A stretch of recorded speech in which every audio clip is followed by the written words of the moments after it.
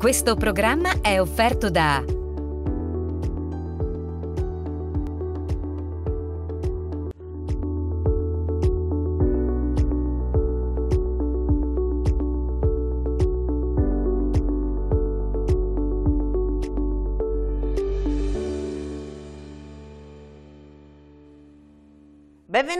Benvenuti a Ibiofarma, il format dedicato alla salute. Lo ricordiamo, Ibiofarma è un'azienda campana che nasce dall'unione di un team di professionisti della salute con l'obiettivo di sviluppare nutraceutici in grado di svolgere una funzione benefica sull'organismo. Di settimana in settimana con i biofarma e gli esperti parliamo di salute, di prevenzione e diagnosi. Oggi in collegamento con noi il dottor Pasquale Bacco, medico ricercatore. Buongiorno dottore. Invito. Grazie a lei per essere intervenuto anche oggi e oggi con lei andiamo a parlare di un tema davvero molto importante, le infezioni nosocomiali. Dottore, che cosa sono innanzitutto? Sono infezioni che vengono contratte nelle strutture ospedaliere, quindi sono infezioni che noi entriamo in ospedale per un motivo e purtroppo all'interno dell'ospedale ci infettiamo. Chiaramente i batteri ospedalieri, poi casomai dopo lo spiegheremo perché, sono molto più forti e molto più difficili da combattere rispetto ai batteri normali. Eh, la differenza tra infezioni nosocomiali e le infezioni correlate all'assistenza sanitaria, perché questo è anche un altro, eh, un altro termine no? che noi spesso sentiamo parlare, però non sappiamo di cosa si tratta, almeno noi che non siamo medici ovviamente. No, in realtà sono la stessa cosa. Le oh. infezioni nosocomiali vengono appunto da nosocomio, cioè strutture appunto come abbiamo detto sanitarie, mentre le, le, ICA, perché il termine in realtà corretto è quello che ha detto lei, ICA, infezioni correlate all'assistenza sanitaria, sono la stessa identica cosa. Sono infezioni che si possono mh, prendere soltanto all'interno delle strutture sanitarie oppure anche per coloro che eh, hanno assistenza sanitaria anche domiciliare ad esempio? Allora, sono molto rare nell'assistenza domiciliare, in quel caso dovrebbe portarlo l'assistente che interviene, cioè la persona certo. che viene in casa nostra. In realtà sono nel 99,9% contratte in strutture ospedaliere e comunque nosocomi di natura sanitaria. Quelle più comuni quali sono? Eh, purtroppo ultimamente ne abbiamo due che sono veramente terribili, sono la Klebsiella che tra l'altro è stata eh, individuata anche in una famosa trasmissione di Rai 1 ultimamente, che in alcuni casi porta alla morte paziente, un paziente su due, è la Cinetobacter. E quindi la Cinetobacter e Klebsiella sono quelle più importanti, però vicino a loro la Pseudomonas, lo Staphylococcus aureus sono quelli ulteriormente comuni come si contraggono proprio le infezioni nosocomiali, ecco, quali sono le cause e la prevenzione che possiamo mettere in atto per evitare di contrarre queste infezioni. Allora, il problema delle infezioni nosocomiali eh, è che questi batteri, dobbiamo spiegarlo, questi batteri sono dei batteri che presi all'esterno delle strutture ospedaliere sono di solito facilmente combattibili. Eh, nelle strutture ospedaliere questi batteri tendono a sviluppare delle resistenze molto forti nei confronti di antibiotici, ma addirittura dei più comuni disinfettanti. Quindi eh, ci troviamo di fronte a, delle, a degli elementi estremamente aggressivi e che purtroppo sono assolutamente, in alcuni casi, e questa è la cosa più incredibile, in alcuni casi sono incurabili.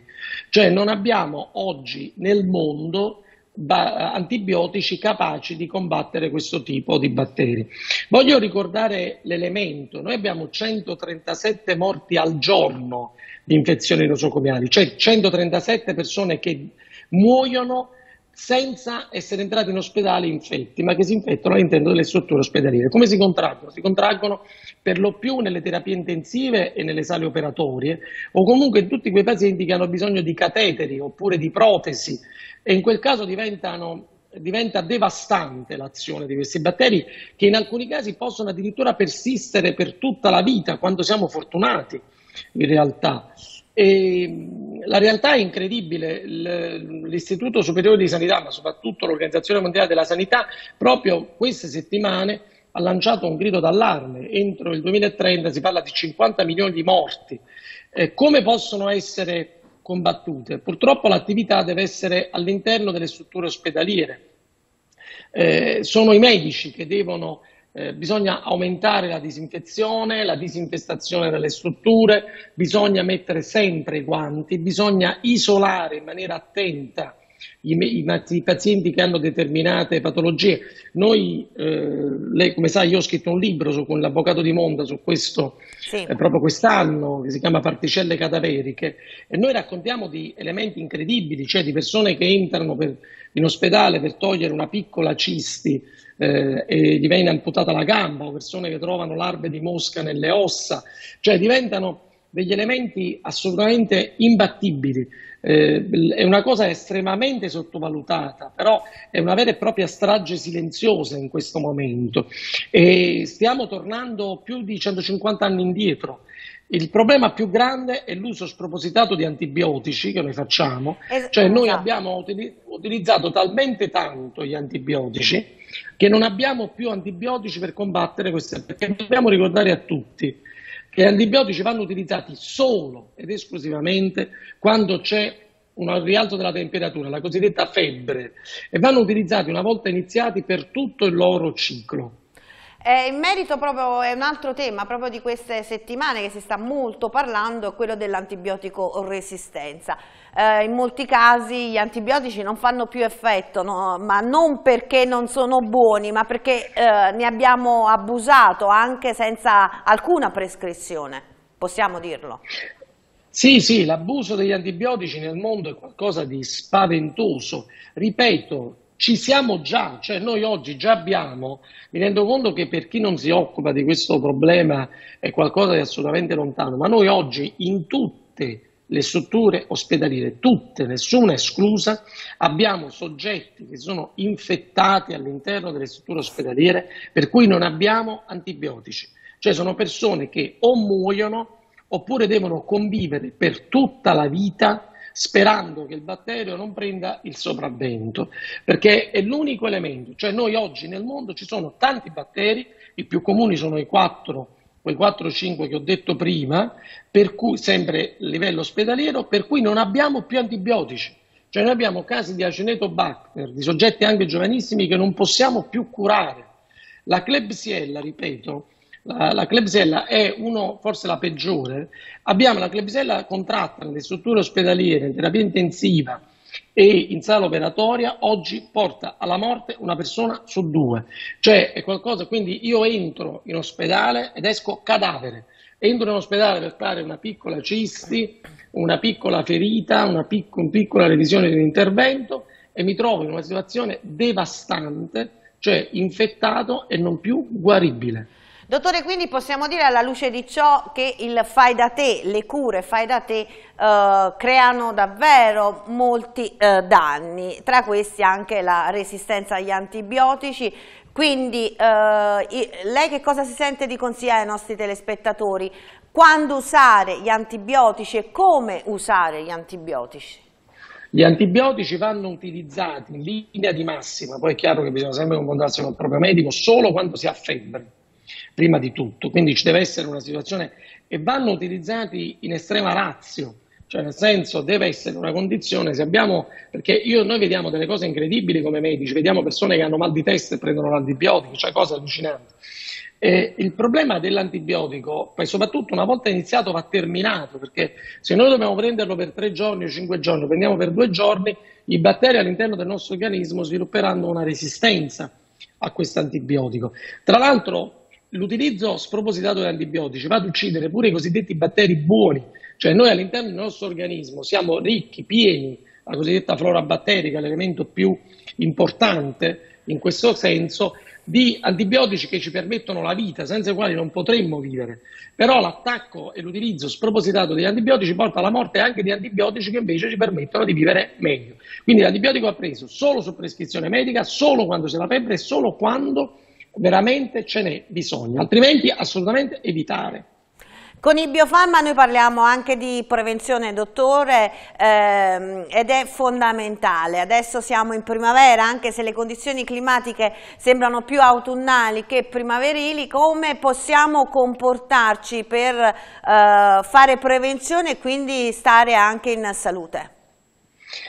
Ma noi abbiamo sempre detto con lei, lei sa benissimo che la cosa più importante è mangiare bene, poco, fare una buona attività fisica, che non significa necessariamente la palestra, perché in questi ultimi due anni abbiamo potuto fare poca, ma muoversi, muoversi, muoversi, prendere le scale invece dell'ascensore, non prendere la macchina quando ci dobbiamo eh, spostare di 100 metri, cosa che noi eh, lo facciamo facilmente anche al sud, anzi soprattutto al sud, e eh, quindi eh, stare molto attenti ai segnali del nostro corpo. E Biofarma ha una serie di integratori che sono spettacolari, favolosi, che presi ciclicamente possono assolutamente aiutarci ad affrontare eh, e soprattutto andare a potenziare il sistema immunitario, perché la, nostra, la cosa più importante che noi abbiamo all'interno dell'organismo è il sistema immunitario. Lei sa che sono un fan della spirulina che prendo da tanto tempo, da quando la prendo, ringraziando Dio, le cose vanno tanto bene, però c'è anche, eh, sono tanti prodotti, è Biofarma, certo Difesa Gold è quello più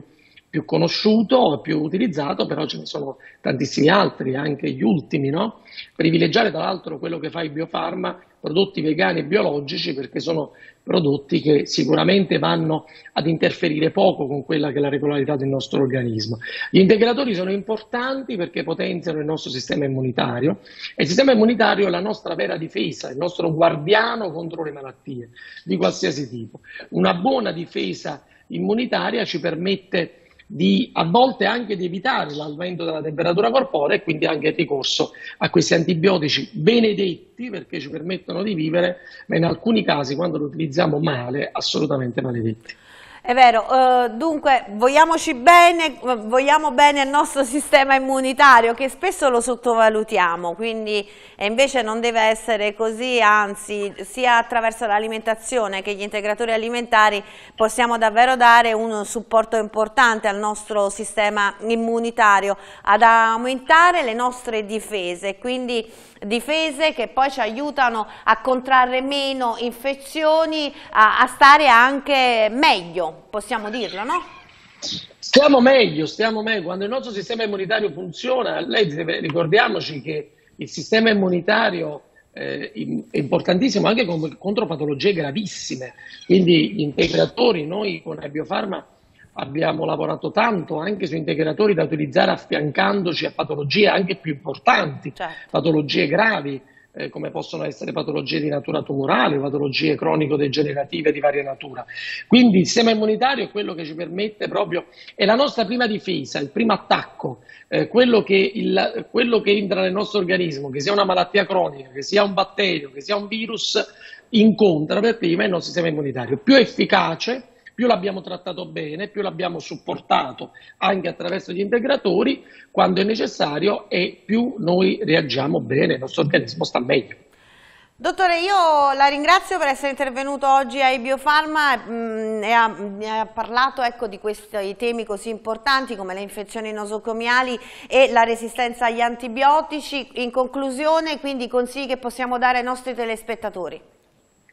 Mai il fai da te, mai. L'antibiotico deve essere un farmaco da utilizzare veramente piuttosto utilizziamo un buon, un buon integratore, lei sa, ripeto sempre, lei mi, mi, prende anche un po' in giro per, per, essere un fan della spirulina, però la spirulina è quello che contiene tutto, o comunque qualsiasi integratore più di nostra, diciamo, gradimento, ce ne sono tanti, per andare ad affrontare anche, perché anche in estate c'è bisogno degli integratori. Eh. E come no, come no, dobbiamo risvegliarci no? dall'autunno e gli integratori ci aiutano Giusto. a dare quell'energia, quella carica. Grazie ancora dottore, ci vediamo prossimamente sempre ai Biofarma per parlare sempre di salute e prevenzione. Grazie mille dottore. Grazie di cuore, grazie di cuore. Il Biofarma, come di consueto, vi dà appuntamento alla settimana prossima per parlare sempre di salute e benessere.